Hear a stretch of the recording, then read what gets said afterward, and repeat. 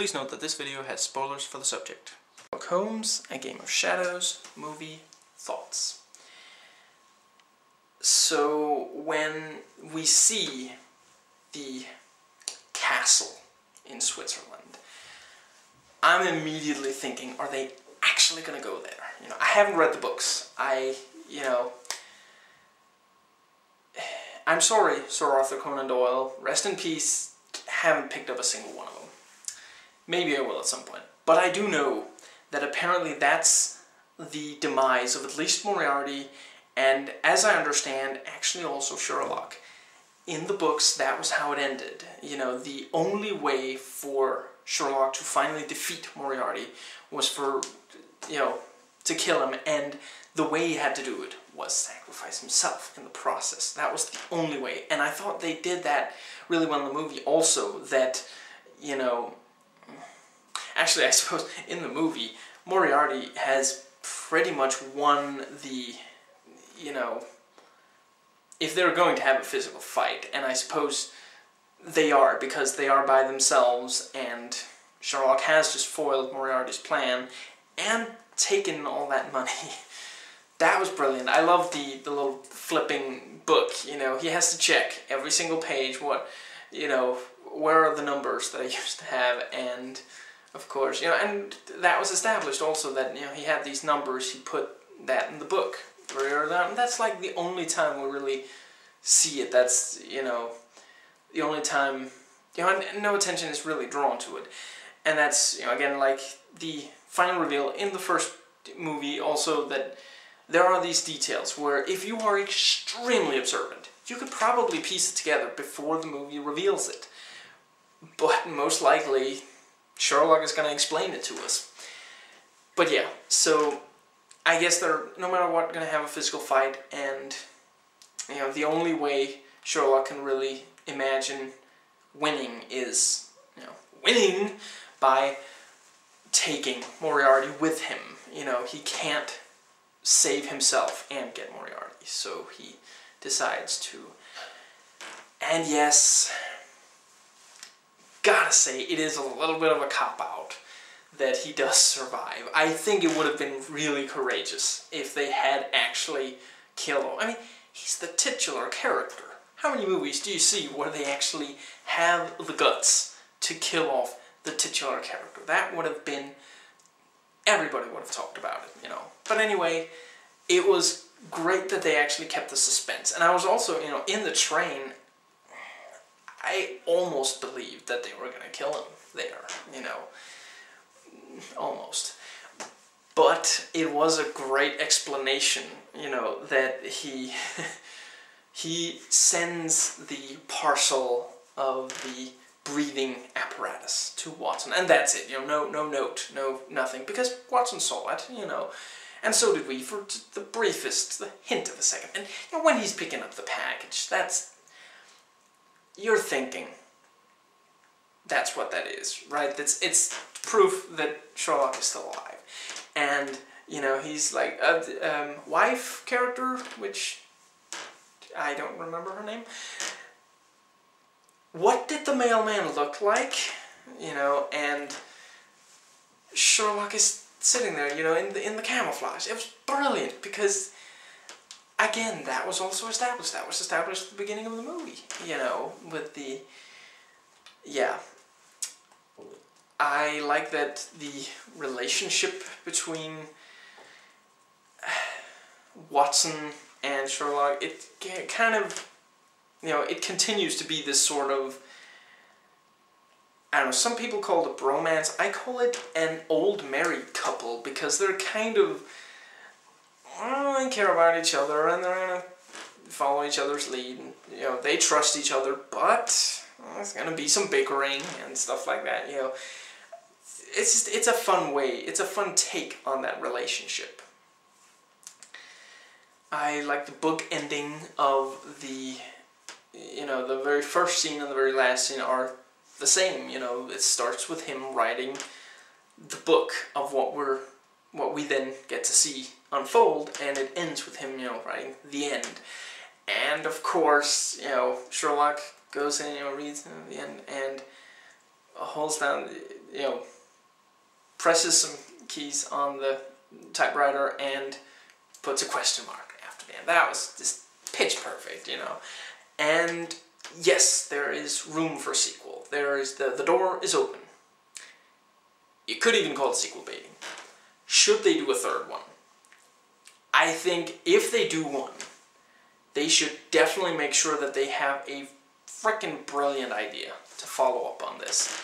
Because otherwise it is just not worth it. Because this, I realize this isn't a trilogy yet, but no, it just, this one really went as far as, you know, they really went big and they had this big epic showdown between these two. You know, it, it was, you know, you have this guy trying to provoke a world war and you have, you know, our heroes running away from actual artillery fire, you know, machine guns and these large cannons with big explosive shells and stuff.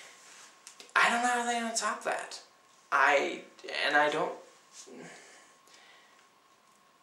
If Moriarty returns, which is you know really there, if they're gonna make another one, I don't think it's gonna be good unless they do either that Moriarty returns or that they have someone of a similar or maybe even superior intellect intellect come along. You know, I don't think that they could really go back to something. And I'm just not sure that it would necessarily be, you know, because this isn't like a Spider-Man Green Goblin kind of thing where, you know, you think that Goblin is dead, but then he returns and, ooh, he's dangerous and he could kill people. That's not what Moriarty is, you know. If he's going to return, so much of his power in this movie came from being untouchable. You know, Sherlock could technically, physically go straight up, punch him out, you know, drag him to a police officer, maybe even try to kill him directly. But he's not going to be able to get away with that. Friends with the Prime Minister, you know, it's he's a big deal. He's important. And he has not been stupid enough to let anything, you know, let any details be clear. And I suppose they could have him return and have that power maybe, although if people think he's dead, it doesn't, that doesn't make a lot of sense. But yeah.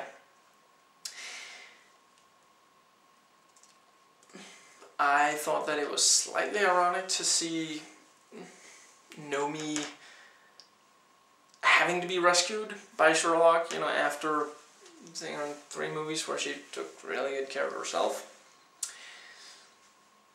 But I did like that, excuse me, Sherlock is starting, excuse me, starting to, you know, kick the ass of the, the Cossack, the Co Cossack, whatever.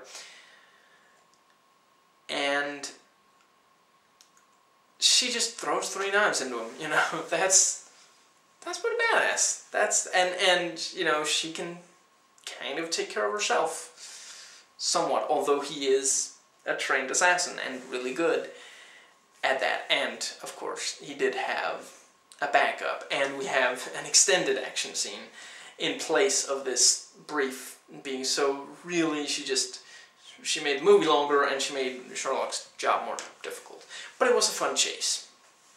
And I like the whole thing with, you know, the rope connecting them and, you know, that's how he prevents the Cossack from running away for a little while, and then the Cossack gets a knife and cuts the rope. You know, that's it's a fun because really he's not even after Sherlock. He doesn't care.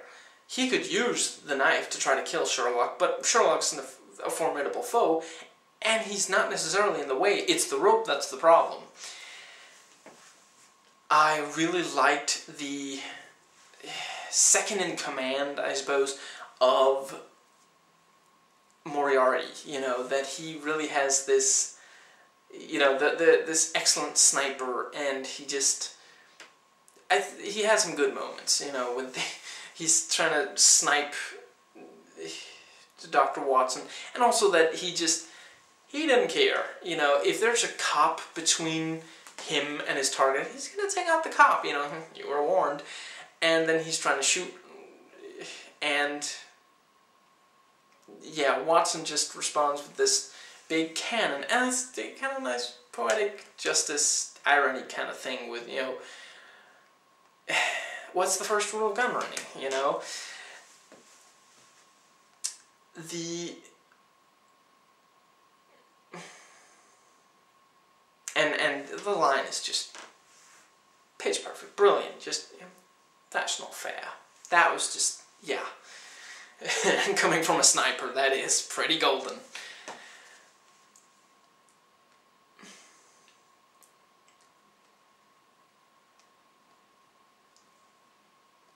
I liked the.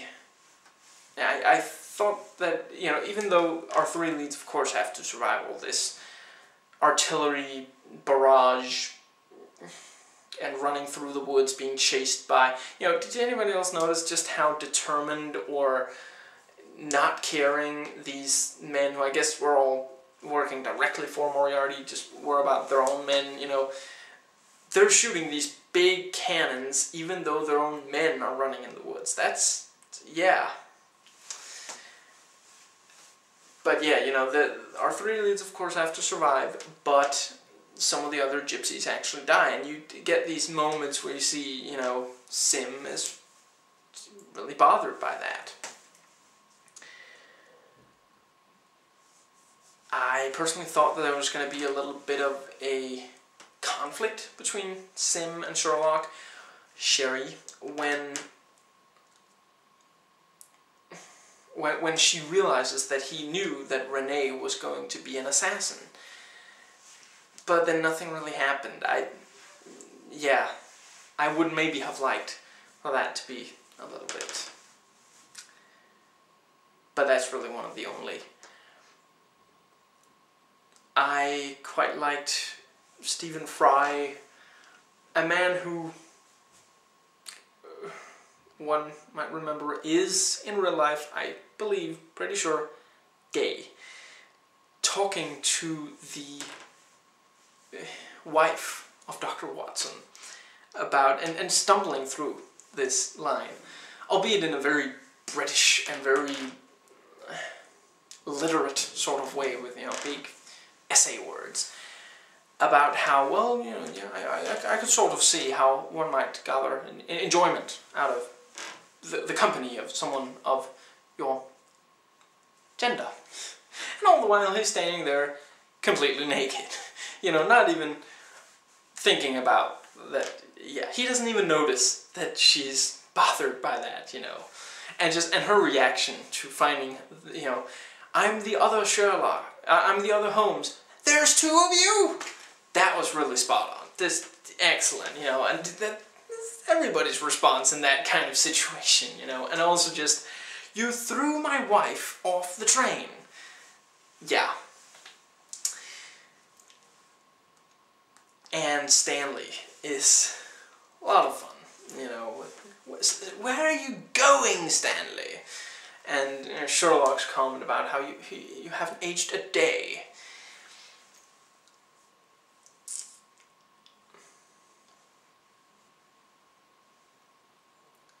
I like how, again, with, you know, the, the yeah, I already mentioned some of this, but how with, if you really pay attention, I think you can piece together what Sherlock also pieces together. Now, if, if you somehow have that kind of overview and, you know, intellectual muscle that you can actually keep up with the movie and think about, you know, the little notebook. I think you could kind of piece together, you know, I don't remember if they show the book exactly or if it's like the only one they show, but I think we see him at least looking at some different books and you could maybe tell that that's one of them. And I do believe we at least see Sherlock go over to the flowers. Again, I don't remember if it's like shown and drawn. I don't think they draw attention to the fact that the flowers are wilted, but you know, of course he, you know, I, th- I think we see it sort of that you could maybe yeah pick it up and piece it together if yeah. And that also you know this is a movie that you could stand to see several times like the first one because then you're going to be able to appreciate some of the details that maybe flew by too fast the first time around and some of the details that you now know the entire history behind. You're now going to be able to you know, more appreciate, you know, because it is a very carefully written film. I've reviewed other parts of this series, the links are in the description box. Please rate and comment, and hey, if you like this video, that subscribe button's just waiting for you to click it.